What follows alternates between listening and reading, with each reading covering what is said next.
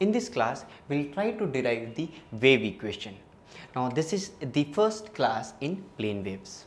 Now, we know the Maxwell equation del cross E is minus dB by dt. This we have already seen in the previous lecture and even we have proved that. Now, let me take del cross of del cross E or I call it as a triple product. So, it will be nothing but dB by dt of del cross B, right.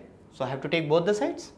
Now, what will be the result of this? It will be del of del E minus del square E is equal to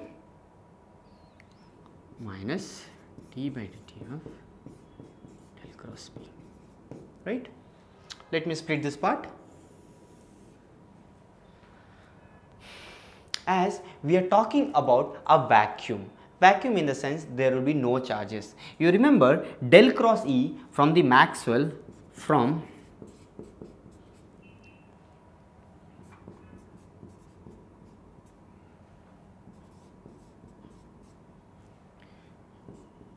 first equation.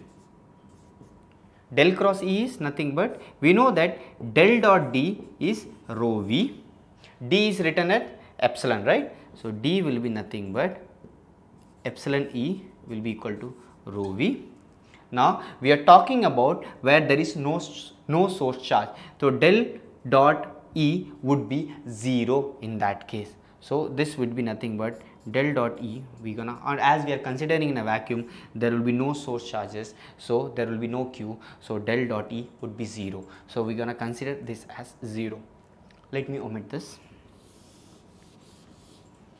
so we will be left with del square E is equal to minus right the minus will go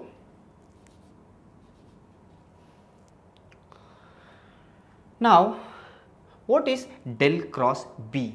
We already know that del, let me write here, del cross H is nothing but as per the Maxwell equation, it is J plus del D by del T, right.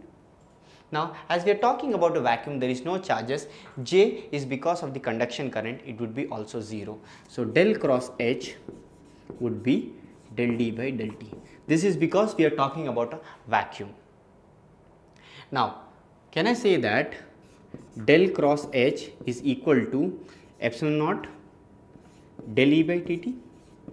Because, because D is equal to epsilon naught E and it is in vacuum. So, I am assuming as epsilon naught. So, we also know that B is equal to mu h or mu naught h so, if I substitute here, can I say that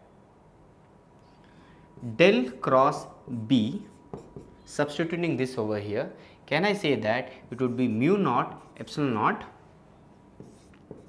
del E by del T, right? Bring that here. So, del cross E would be d by dt of mu naught epsilon naught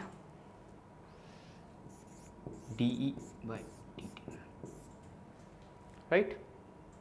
So, this would be nothing but del square E be equal to mu naught epsilon naught d square E by d square. Now, let me continue here. If I take this over here, it would be nothing but d square E by dt square would be 1 by mu naught epsilon naught del square E.